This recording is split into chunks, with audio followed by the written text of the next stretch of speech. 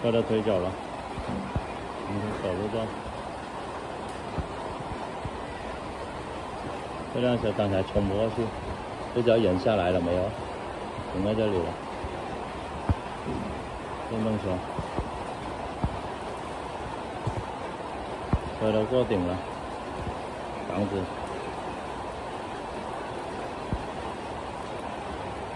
车子已经过顶了。大货车、小车、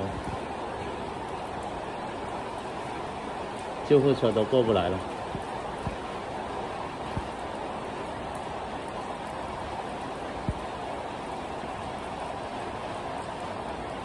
路西村路段。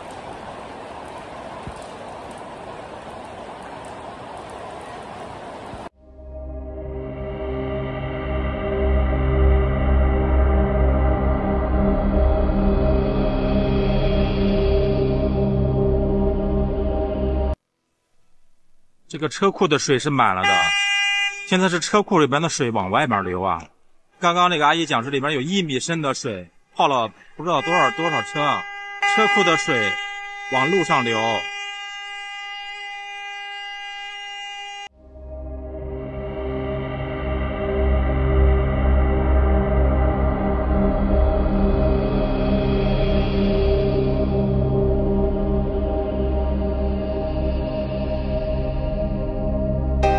五月十八日晚，浙江杭州萧山区靖江街道义南村一化纤厂着火，现场火势凶猛，浓烟滚滚。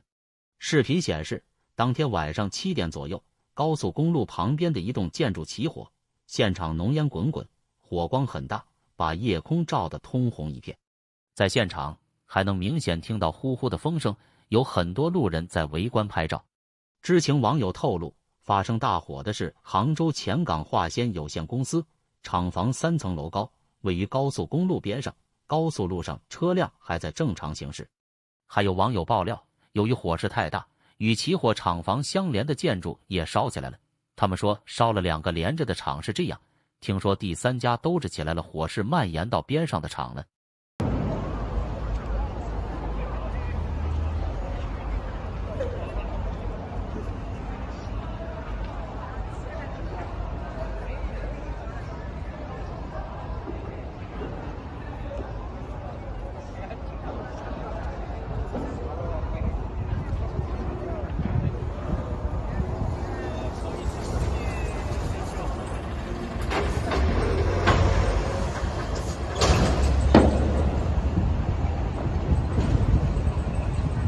全是那个黑色的烟，你看，已经持续了一个小时了。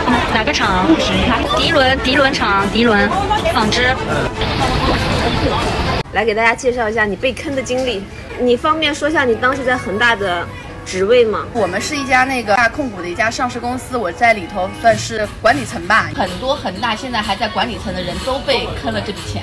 会儿是房车宝要上市嘛，然后许许老板呢给了个政策，要整个在恒大集团里面副总裁级别以上才可以去认购这个股权，说是在美国要纳斯达克上市。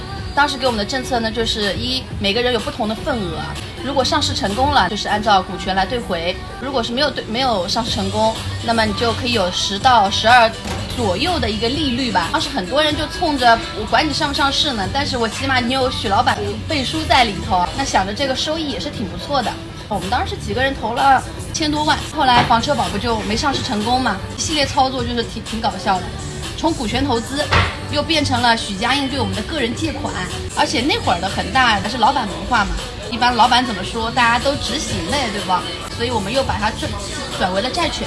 过了一阵子，又跟我们说要重新把它变成一个抵房协议，房子总还是个再退而求其次的一个资产。所以我们那就在全国的所有的恒大项目当中筛选了一个呃云南昆明的市中心的一个住宅楼盘，签了这种三方的这个协议，但是没有网签，但是所有的走账、所有的收据还有新协议吧，都都拿到了。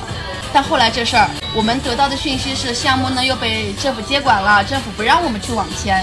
前阵子我们几个人还去打了官司，不想去实施这个抵房协议啊。后来出现的一个问题是，对方举证说当时给我们的那个定金协议上的章是假章，啊，他说起来是营销公司个人的行为，哦，本来是个民事官司。如果是到这个情情况下，据我了解，如果我要举证他这个章就是真实的，之后我还得变成一个好像是刑事案件一样的。我那这个确实非常的劳心劳力啊，就这是我投资非常失败的一个案例吧。现在如果公司让我买什么产品，不管我们对于老板多么信任，我们都会很谨慎。你现在有什么想对许老板说的吗？许老板现在人在哪儿？许老板，我不想关心他人在哪儿吧，我觉得就吃一堑长一智吧，以后绝不瞎投啊！老板的项目更不要瞎投。啊，那顾总怎么看最近刚刚出台的这个房市的重大利好啊？相信主播，然后少投资房产。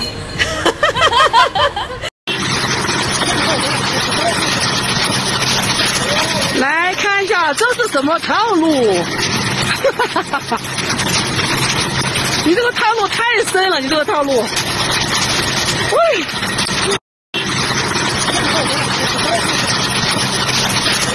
来看一下这是什么套路？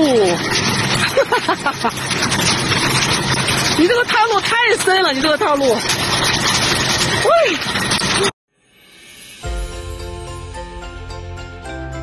有“百草之王”美誉的人参被视为长生不老的上等补品，在韩国出产的高丽参含有活化机体作用的多种有效成分，可增强免疫力，使疾病无法入侵，被称为万灵补品。高丽参分野生与栽培两种，由于加工方法的不同，入药用的人参又有生晒参、白参、红参等不同的成品规格。玄宝黑参口服液以百分之百韩国优质六年高丽参为原料，根据朝鲜王朝医学宝典《东医宝鉴》记载的九蒸九铺方法，纯手工制作而成。高丽人参含有三十四种人参皂苷成分，远高于西洋参和三七参。另外，人参皂苷 RA、RF、RG3、RH2 为高丽人参独有的成分。经九蒸九铺制作后的黑参，燥火性质进去，一年四季及任何体质人均可服用，解决了人们长期关注的吃高丽参上火的问题，提高了有利于人体吸收的多种有效成分的含量。其中有免疫抗癌作用的人参皂苷 RG3 的含量比红参高八倍，人体对玄宝黑参中的人参皂苷的吸收率高达百分之八十以上，是红参的六倍多，是白参的十六倍。点击视频下方的链接，输入优惠码 DJY 二零二四，即可享受全球免费邮寄。